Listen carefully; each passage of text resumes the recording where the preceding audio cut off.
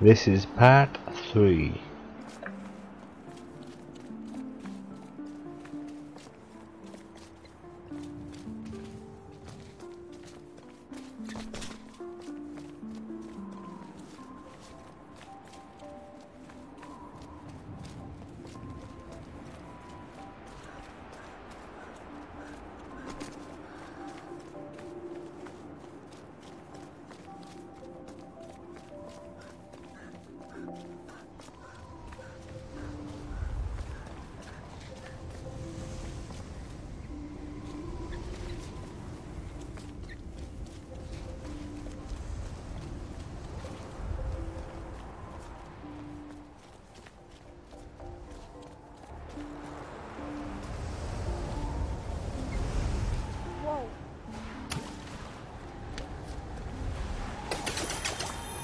The king was so frustrated with the messy, demanding people of his kingdom that he decided to start over.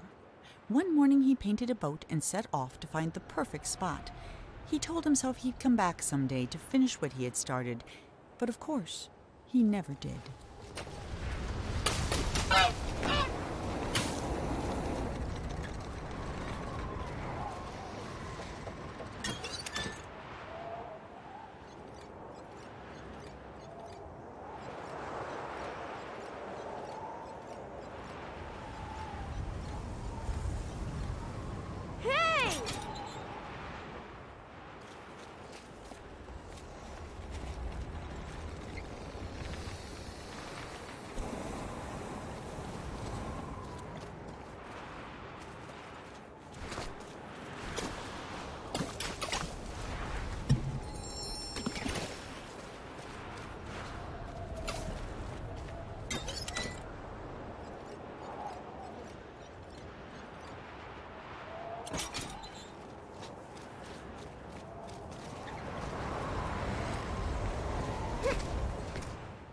For the first time in weeks, Monroe felt good.